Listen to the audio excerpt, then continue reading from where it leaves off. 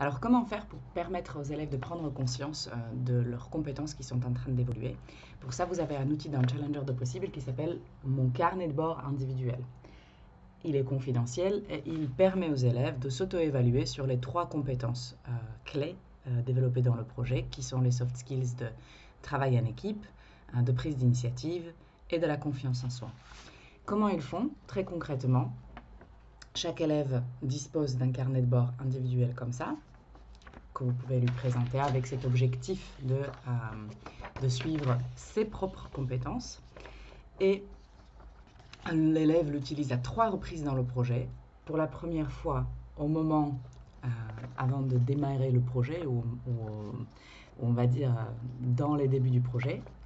Deuxième fois, quelque part en plein milieu du projet, donc très probablement après l'étape après l'étape euh, après l'étape 2 et euh, troisième fois à la fin du projet.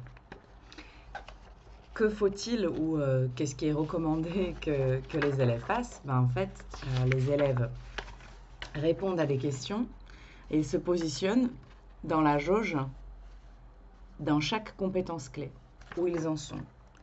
Est-ce que c'est pas du tout vrai ou est-ce que c'est vrai? Et ensuite, dans ce petit encart, il donne l'exemple très concret dans le projet euh, de euh, cette compétence-là.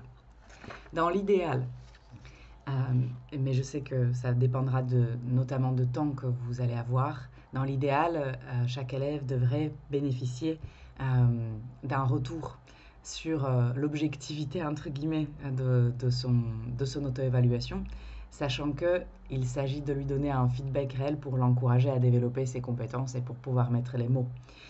Euh, et a priori, donc du coup, il le fait donc, pour, la, pour la première fois euh, en amont du projet. Euh, les élèves répondent sur la question de confiance en soi, sur la prise d'initiative et sur la page 4, sur le travail d'équipe.